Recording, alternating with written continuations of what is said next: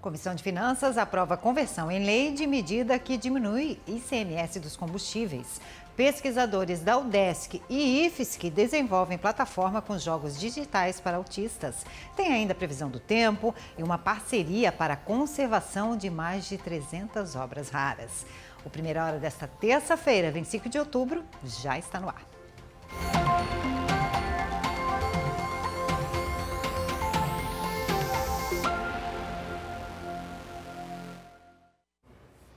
Bom dia. A Comissão de Finanças aprovou em reunião extraordinária realizada ontem à tarde a conversão em lei de duas medidas provisórias do governo do estado. As matérias tratam da incidência do ICMS sobre a gasolina, o etanol e a energia elétrica. Os deputados membros da Comissão de Finanças e Tributação aprovaram o projeto de conversão em lei de uma medida provisória que alterou o preço da gasolina, do etanol e da energia elétrica em Santa Catarina. A MP número 255 foi editada pelo governo do estado e já está em vigor desde 1 de julho deste ano, quando foi publicada no Diário Oficial. Ela reduziu a alíquota do imposto ICMS cobrada sobre esses produtos de 25% para 17%. A alteração é consequência de uma lei complementar federal, aprovada pelo Congresso Nacional, que passou a considerar combustíveis e energia elétrica como bens e serviços essenciais, o que na prática proibiu todos os estados brasileiros de cobrar alíquota superior a 17% sobre esses produtos. O projeto de conversão em lei foi aprovado com uma emenda aditiva de autoria do relator, deputado Marcos Vieira, e agora deve retornar para análise da Comissão de Constituição e Justiça antes de ser votado em plenário. Ano passado, o governador Carlos Moisés da Silva anunciou é, inúmeras vezes para a imprensa é, que o preço de pauta, a partir de 1 de novembro, ficaria congelado. Faltava, então, um dispositivo legal para que isso se transformasse né, em, em lei. E foi o que aconteceu no dia de hoje aqui na Comissão de Finanças e Tributação.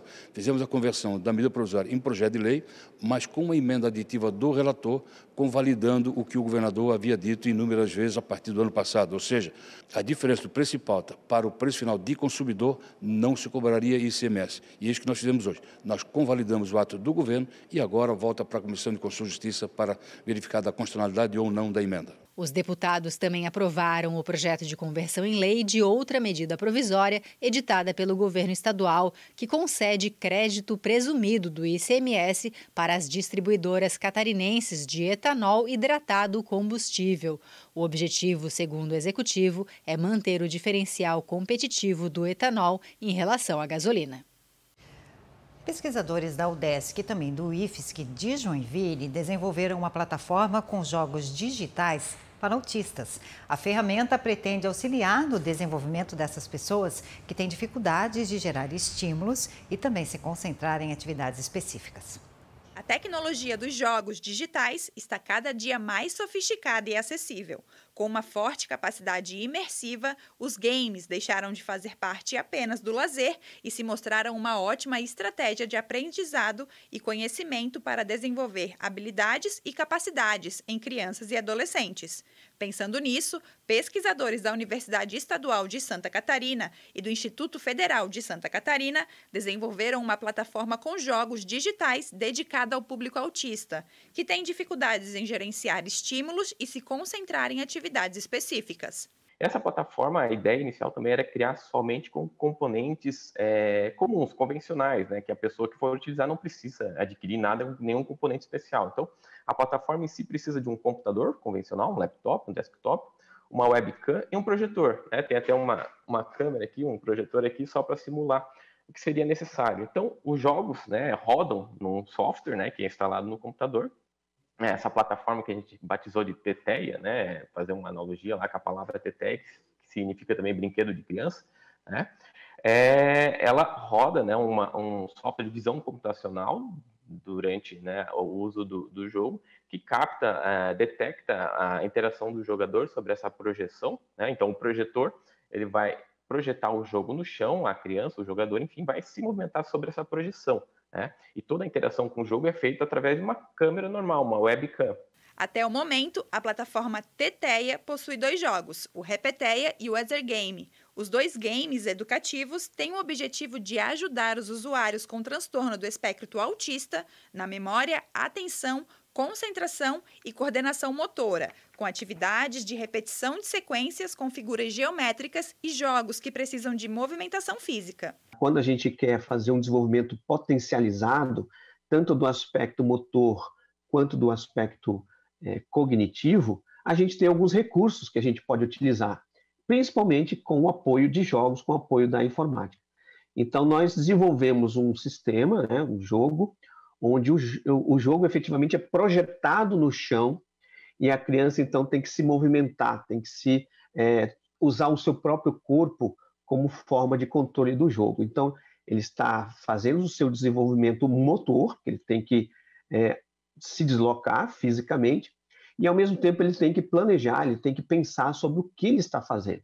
Então tem o desenvolvimento cognitivo. A plataforma Teteia e os jogos digitais auxiliam em terapias para autistas com mais de 10 anos de idade e tem que ser usada com acompanhamento profissional e especializado. O projeto foi apresentado a profissionais da saúde e da educação em uma reunião de lançamento na UDESC e após a validação final, a plataforma deve ser disponibilizada gratuitamente para parceiros e instituições públicas.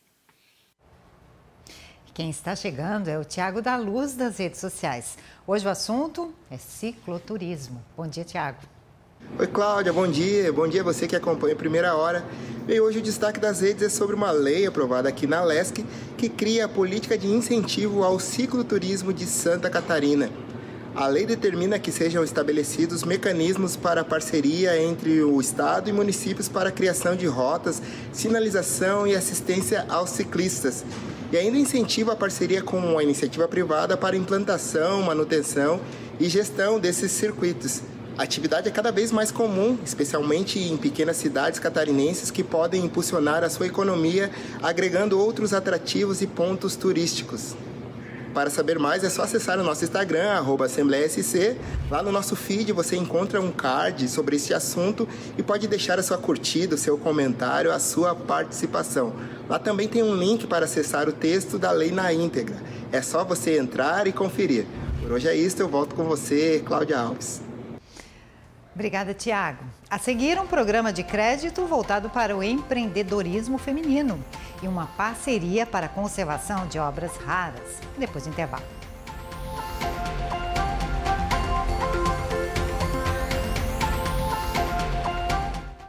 Estamos de volta. Hora da previsão do tempo. De acordo com a Epagre Ciran, as temperaturas continuam altas nesta terça-feira, com uma massa de ar seco em todo o estado. No oeste, sul e também na grande Florianópolis, 28 graus. 29 na Serra, 26 no Vale do Itajaí e 27 no norte do estado. E foi lançado pelo Sebrae um programa de crédito voltado ao empreendedorismo feminino. Só aqui no estado são cerca de 300, 350 mil negócios fundados e liderados por mulheres. O Sebrae, Serviço Brasileiro de Apoio às Micro e Pequenas Empresas, lançou uma iniciativa em parceria com a Caixa para estimular o empreendedorismo feminino. O programa, que ganhou o nome Caixa para Elas Empreendedoras, vai oferecer capacitação e crédito facilitado para que mulheres regularizem uma atividade econômica informal que já desempenham e também para aquelas que sonham começar seu próprio negócio. O programa justamente é para formalizar as mulheres que hoje trabalham na informalidade, têm os seus negócios, trabalham, porém elas não têm um CNPJ, elas não têm uma empresa registrada e que isso acaba acarretando é, dificuldade no acesso a crédito e outras, é, outras linhas de crédito, outros benefícios que o governo federal e estadual oferecem para uma microempreendedora individual. Silvia é coordenadora de projetos de acesso a serviços financeiros do Sebrae em Santa Catarina. Ela destacou a importância das mulheres formalizarem as atividades, tanto para os benefícios sociais quanto para o crescimento do empreendimento. Então, os benefícios são: ela vai estar contribuindo para a previdência social, no caso, se ela precisar se aposentar, a, a, o, o INSS que ela vai pagar ali, aquela taxa mensal que ela paga ela pode, é, ela pode se aposentar. Num acidente, ela tem todos os benefícios né, de, de afastamento de trabalho, ela vai, não vai deixar de receber. Ela sendo registrada, ela tendo o CNPJ dela, ela sendo uma pessoa jurídica, ela tem acesso a outras linhas de crédito que o governo estadual, o governo federal sempre estão oferecendo para ela, e até para compras de matéria-prima. Ela comprando como CNPJ, como uma pessoa jurídica, os, os, os, custos dela podem diminuir e ela pode também participar de licitações e de outros, uh, de outros trabalhos que possam vir a partir do momento que ela está formalizada.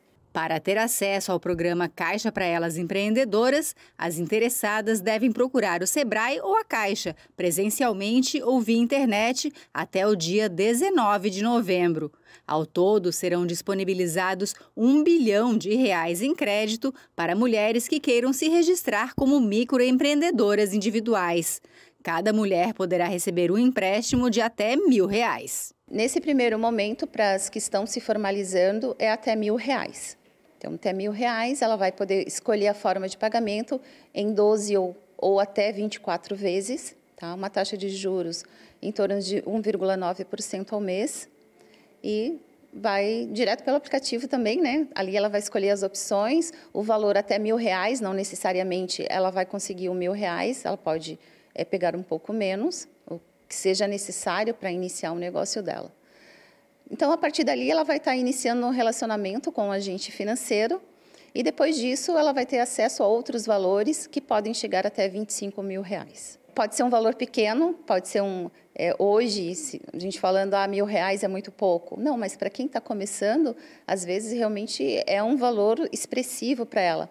Ou para comprar uma máquina, se é uma costureira, uma máquina pra, pra nova para costurar, própria matéria-prima também. Então esse valor apesar de ser pequeno, pode alavancar o negócio dela muito mais vezes. Empresas de tecnologia apostam na melhoria da gestão das propriedades rurais. A Associação Catarinense quer estimular a criação de empresas e fomentar o desenvolvimento no campo. O território catarinense não é, em comparação com outros estados brasileiros, extenso. Por isso, e levando em conta o alto grau de desenvolvimento econômico gerado pelo agronegócio, a baixa cobertura de sinal de internet na área rural do estado não deixa de ser uma surpresa e até mesmo preocupante, mas há esperança. Existe uma dificuldade né, dos produtores em aderirem à tecnologia, usarem efetivamente dentro da propriedade rural, mas isso é, uma, é um gargalo que tende a ser reduzido com o tempo. Né? Então, hoje as empresas que trabalham em soluções para o produtor rural, seja da porteira para dentro, seja em outros elos da cadeia produtiva, eles já estão se aproximando do produtor, conseguindo instalar sistemas, sensores, processar esses dados né, em redes que muitas vezes são offline, né, e à medida medida que a gente consegue trazer um sinal de internet, levar isso para servidores em nuvem. Um outro desafio enfrentado tanto pelas empresas de tecnologia quanto pelos produtores rurais é a falta de mão de obra. Precisamos trabalhar na formação né, de mão de obra especializada para operar as tecnologias que nós desenvolvemos aqui na CAT e diversas outras empresas de tecnologia e também é, formar a mão de obra para nossas empresas, para que a gente consiga é, acelerar esse processo de desenvolvimento tecnológico, né? trazendo às vezes também quem tem a visão do campo. É muito bom ter o jovem do campo com a visão da propriedade rural, né? para dentro de uma empresa como a, a nossa, né? ou as nossas que desenvolvem tecnologia, para que a gente consiga fazer algo que tenha sentido. No campo, a força do agronegócio catarinense se mostra no trabalho das cooperativas rurais. No setor de tecnologia, as incubadoras de empresas também atuam no sistema de colaboração. A vertical AgTech, da Associação Catarinense de Tecnologia, atua com foco no agronegócio. Nós nos reunimos para aprender entre nós, né, fazer benchmark, ver o que boas práticas uma empresa está é, conduzindo que pode ser aplicada na outra. Existem empresas que já estão no estágio mais maduro, que podem ajudar quem está começando. Né?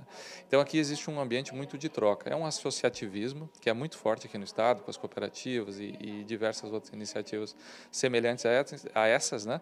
Então nós temos uma cultura de associativismo e isso funciona muito bem. Uma das empresas facilita e qualifica a gestão da pequena propriedade. Uma gestão mais facilitada, controle custos, controle e, e, consiga ter uma eficiência produtiva, né, maior lucratividade e boas práticas ambientais, né, que hoje está muito eh, em voga. Então, traz um pacote de informações que eh, podem ser facilmente assimiladas pelo produtor e fazer com que ele ganhe competitividade e permaneça no campo, né? porque a gente precisa do produtor produzindo. Parceria entre Biblioteca Pública de Santa Catarina e UFSC busca a conservação de cerca de 1.305 obras raras. Biblioteca Pública de Santa Catarina, no centro de Florianópolis. É ali no terceiro andar do prédio que repousam mais de 1.300 obras publicadas nos séculos 19 e 20 e que contam um pouco da história do Estado. São livros, revistas e jornais que abordam temas diversos como política, segurança e infraestrutura, tanto de Santa Catarina quanto dos municípios catarinenses. Obras raras e antigas que precisam de cuidados especiais. A conservação dele quanto à, climatização, né? o cuidado com a, é, manter sempre a mesma temperatura, com a umidade, luz, é, e também mantê-los bem acondicionados, né? em estantes ah, e materiais ideais para isso, é importante para a conservação desse material. E a maioria deles precisam ser conservados, né? passar por uma higienização para sua conservação é, alguns restaurados e até encadernados. Agora, uma parceria firmada entre a Biblioteca Pública e o Laboratório de Conservação e Restauração de Documentos da Universidade Federal de Santa Catarina está permitindo o diagnóstico e a conservação dessas obras raras catarinenses. Os trabalhos começaram no dia 3 de outubro e são realizados no Laboratório de Restauração e Conservação, no subsolo da própria biblioteca. Do ponto de vista técnico, nós estamos fazendo o diagnóstico e a higienização mecânica, né? que é esse processo em que nós trazemos os livros é, do setor aqui para o laboratório, analisamos os livros é, e nessa análise nós identificamos os problemas que eles têm, né, do ponto de vista da conservação, se tem perda de suporte, se tem sujidades, se tem adesivos. A partir daí, quais são os tratamentos que nós precisamos dar? É, ao identificar né, esse processo, vai se fazendo também a higienização mecânica que é uma limpeza, né? uma limpeza que se faz com uma trincha macia, né? um pincel macio e uh, pó de borracha. Então, se passa pó de borracha e tira as sujidades é, que são superficiais. A previsão de término do trabalho de higienização e conservação das obras é dezembro de 2023. Além de servidores das duas entidades, cerca de 30 voluntários participam do projeto, muitos deles estudantes de cursos como arquivologia, biblioteconomia, museologia e história. Um trabalho que requer paciência e muito cuidado e que ajuda a preservar a história de Santa Catarina. A gente é, percebe nelas um símbolo, né? um símbolo social. Ela tem uh, informações sobre várias várias classes da sociedade, né? E, e dessa forma constitui-se um patrimônio documental. Né? E por ser um patrimônio, a responsabilidade é de todos nós. Nós precisamos conservar isso para a sociedade catarinense e poder futuramente consultar a sua história, o que aconteceu no decorrer desses anos. Essas fontes primárias aqui são muito importantes para os nossos pesquisadores, para os nossos estudantes, para toda a sociedade. Continue assistindo a nossa programação. daqui a pouquinho tem transmissão ao vivo da reunião da Comissão de Constituição e Justiça. Bom dia para você, até amanhã.